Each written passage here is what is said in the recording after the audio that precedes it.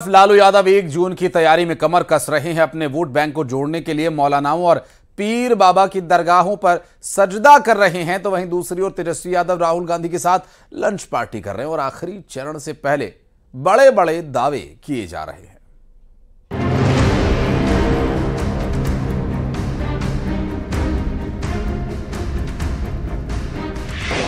Nervousness है। तो people समझ चुके हैं। देश की जनता मोदी जी को भगा रही है फटाफट फटाफट फटाफट। ये नए तरीके की राजनीति है, जो अब राहुल गांधी के इंस्टाग्राम अकाउंट पर भोजन के इस वीडियो के सहारे चल रही है। कभी सभा के बीच, कभी सभा से पहले, कभी सभा के बाद में तो कभी रेस्ट मोड में। विज्ञान कहता है कि मनुष्य को जीने के लिए संतुलित आहार चाहिए, न कम, न ज़्यादा, एकदम सादा, एकदम संतुलित। यहाँ भी एक बैलेंस कायम है। और वो बैलेंस है नियमित अंतराल पर सामने आने वाले ऐसे वीडियो का।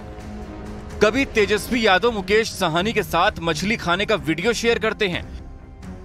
कभी तेजस्वी यादव संतरा खाने का वीडियो शेयर करते हैं। कभी चुनावी सभा के बीच केक शेयरिंग होती है। तो कभी राहुल गांधी बहन मीसा भारती के साथ इस तरह भोजन का आनंद लेते हैं और मोदी सरकार के निंदा सुख में डूब जाते हैं। ये जो कह रहे हैं कि मैं भगवान का काम करता हूँ ये नर्वसनेस है। तो बिहार के चुनाव में आपको क्या लग रहा है? शुरू से मैं कहता रहा हूँ चौंकाने वाला रिज़ल्ट आएगा। है ना? यूपी में और बिहार में? ये बहुत आसान नहीं रहना लोग काम देखना चाहते हैं। दस साल मौका दिया कुछ नहीं किया बिहार के लिए। तो पीपल समझ चुके हैं कि मोदी जी झूठ बहुत बोलते हैं। बट नॉन स्टॉप झूठ बोलते हैं। नेचुरली बिल्कुल बिना झिझक के कंफर्टेबली और बिना सोचे समझे बोलते हैं। और कुछ भी बोल सकते हैं। बट आपने नोटिस किया कि इनका जो नॉर्मल कैंपेनिंग होता है वो जो चल नहीं रहा है बिल्कुल। और हमारी बात बोल रहे हैं वो। बिहार में कोई करेंट वेव कुछ नहीं है उनका। ना भीड़ होती है ना कुछ होता है। अब लोग उग चुके हैं। क्रेडिबिलिटी चली गई पूरी। दे, देश की जनता मोदी जी को भगा रही है फटाफट फटाफट फटाफट।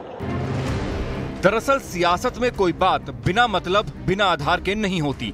इन वीडियो के ज़रिए भी लगातार ऐसे ही मैसेज दिए जा रहे हैं कि गठबंधन में सब कुछ ठीक है, सब कुछ अच्छा है, सब कुछ एकजुट है कि लंच डिनर वाली ये राजनीति किसको कितना रास आती है।